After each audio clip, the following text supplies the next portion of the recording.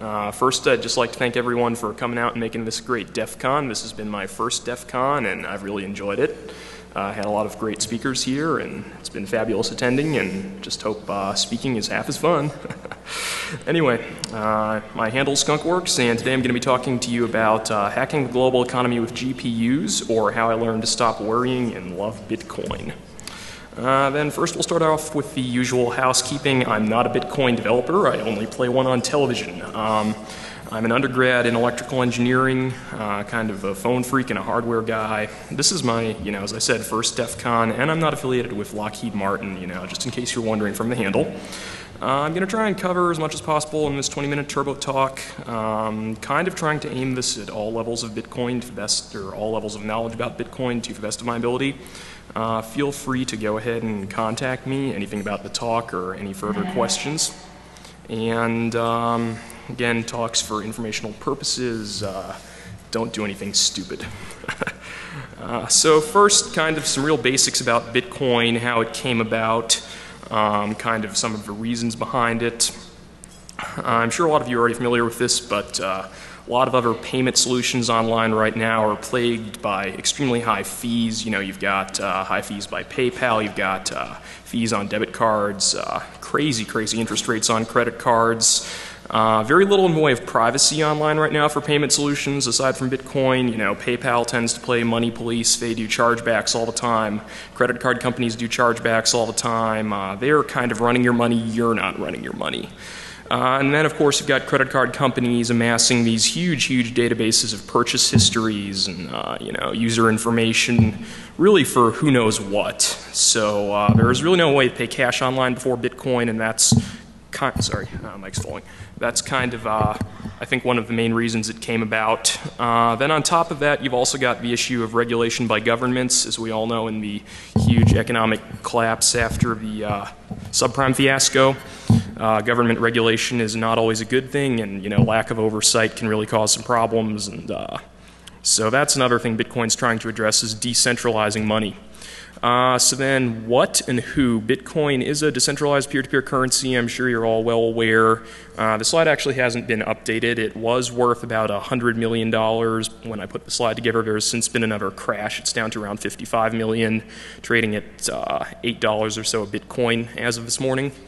Um, it's based on SHA-256, mined or minted, uh, mostly with GPUs. And uh, as far as everyone knows, it's legal. It's kind of a bit of a gray area. It doesn't really meet the standards of a currency under U.S. federal law.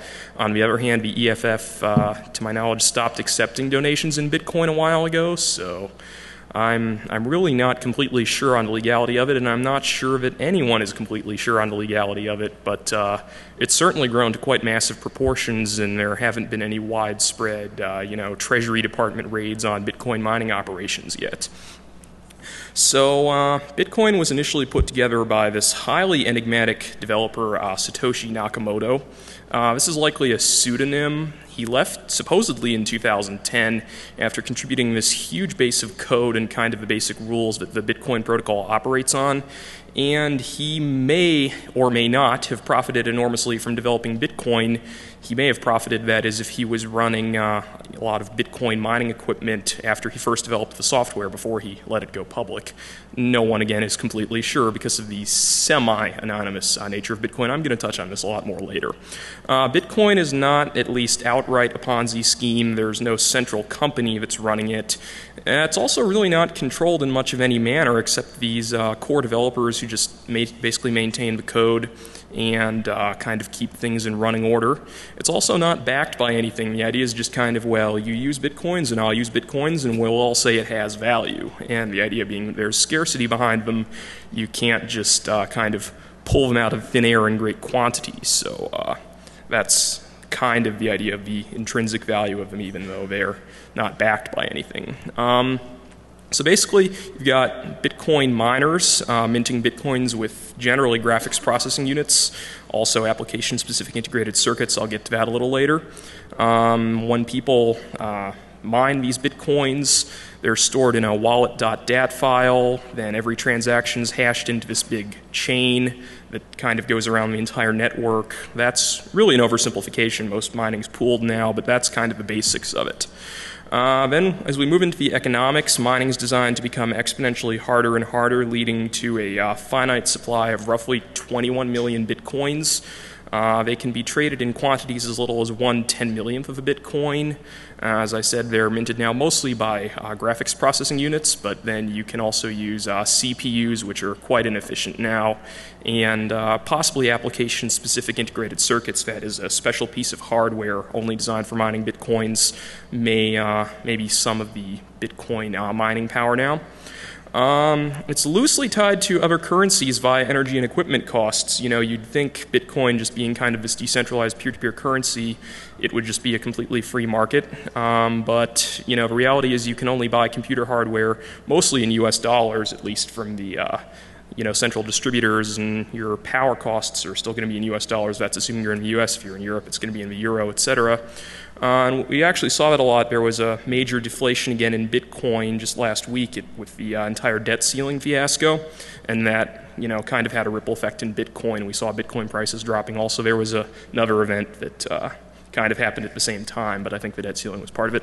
Uh, anyway if Bitcoin does ultimately become a stable currency, uh, profits for mining Bitcoins are going to have to go down to zero because mining does become exponentially harder. And uh, early adopters have definitely won big in Bitcoin. If you started mining back when Bitcoin uh, first started out, then you made a lot of money on it. Late adopters, at least, were still covering costs until about a week ago when we had this uh, second kind of market collapse. And supply and demand curves kind of uh, explain everything relatively well. If you look at the blue there, that's your supply curve. The two red ones are your demand curves. And you know, basically, you just have the shifts in those two curves affects your equilibrium that the uh, price will tend towards. Bitcoin had uh, 200,000% inflation over the last several months. Really, really explosive growth to a high of uh, over $30 a Bitcoin back in June. Uh, then it devalued to about half of that to uh, uh, $15 and then uh, was stable over most of July. Looked like it was finally tending toward an equilibrium. We saw relatively steady trade volume and relatively steady prices in Bitcoin markets.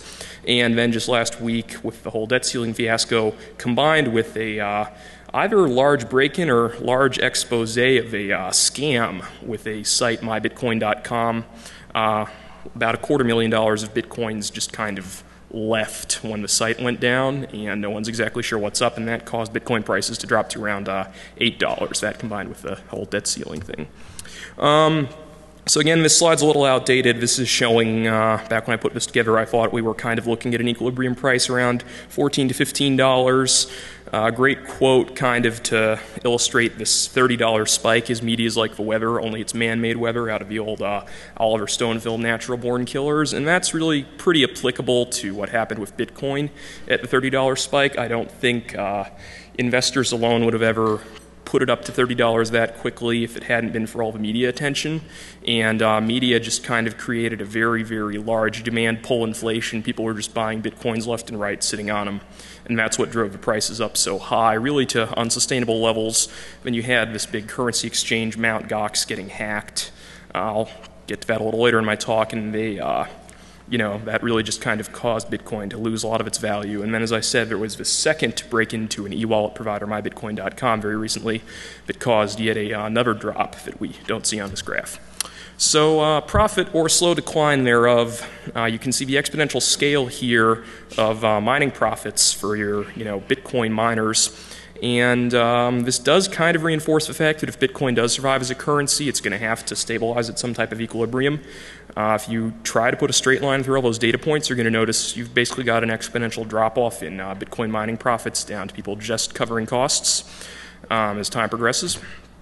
Then, what's happened in the last several months as the Bitcoin network has gotten so large is you've had people pooling their resources together in Bitcoin mining.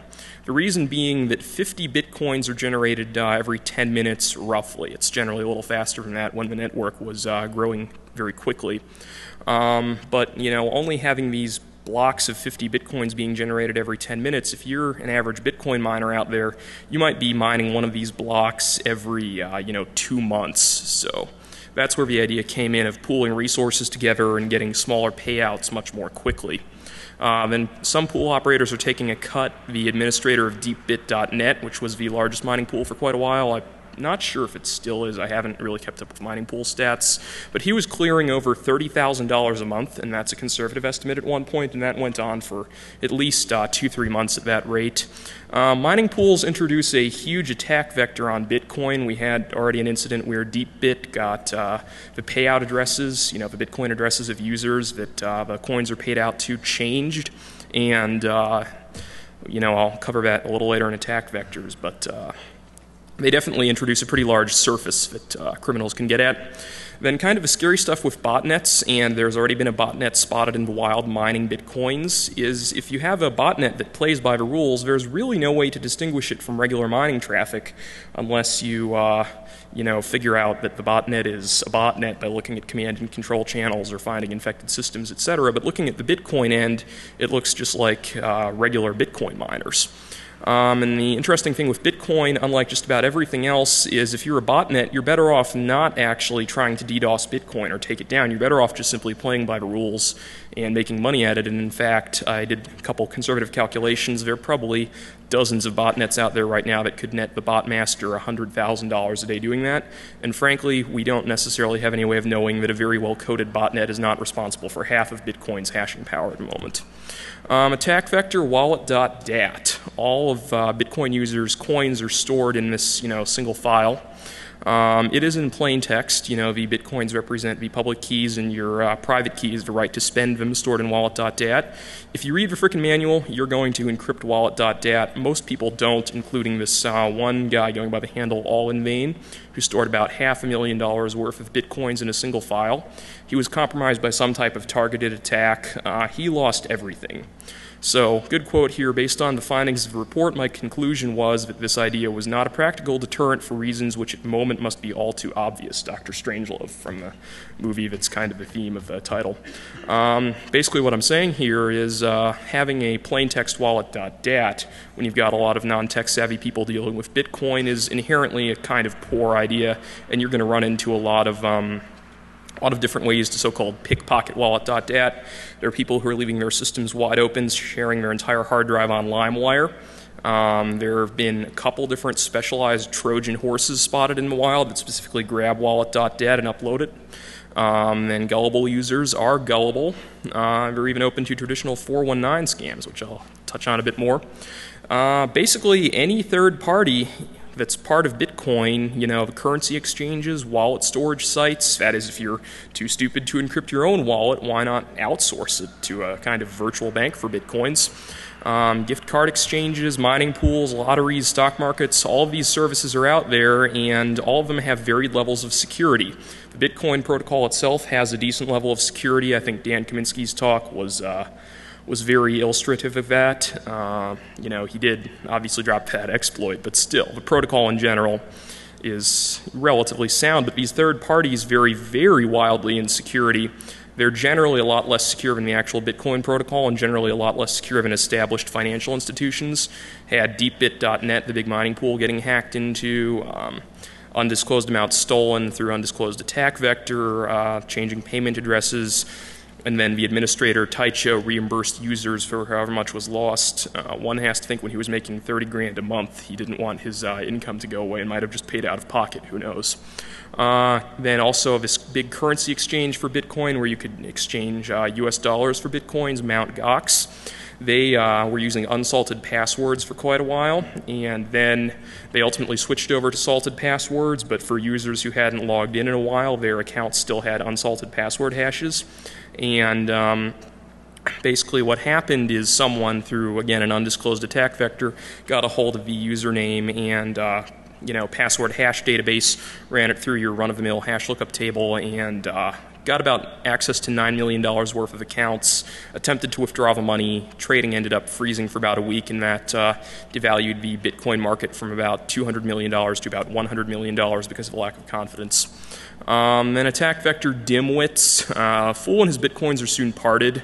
You can have traditional 419 style scams, such as I'm a Nigerian prince with 89 million bitcoins, and you know you can have fake gift card sites. Plenty of those have been spotted in the wild. Fake investment sites, uh, fake mining pools, possibly. I'm not sure that we've seen any in the wild yet, but uh, it's certainly a real possibility. Fake currency exchanges are definitely out there. No chargeback really means easy pickings. You know, you can't call up American Express and say, uh, hey, someone just stole 500 bitcoins from me. Can you guys do a chargeback? uh, there's definitely an inverse correlation with tech savvy and victimization among things like this. Uh, there's really no patch for human stupidity. So if you've got stupid people using Bitcoin, you're going to run into a lot of theft.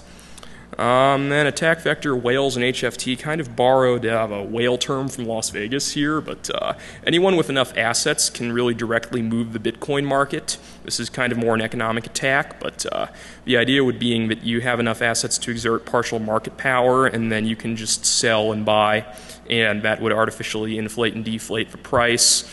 Uh, you can pretty well camouflage that by simply splitting up all of your uh, large accounts into a bunch of small accounts and it's pretty hard to distinguish from regular trading when the market's fluctuating enough. Then uh, high frequency trading, already probably read about this on Wall Street, but that's where you have automated trading for small marginal gain repeated ad infinitum, coupled with uh, market movers. You can really get an unfair advantage, um, but the market does become harder to move the more Bitcoin grows. Then uh, vending machines and Finny. This is the Finny attack. Basically, if you accept a transaction without having any confirmations, the attacker can create an uh, unbroadcasted block and then send the same coins to himself in that block.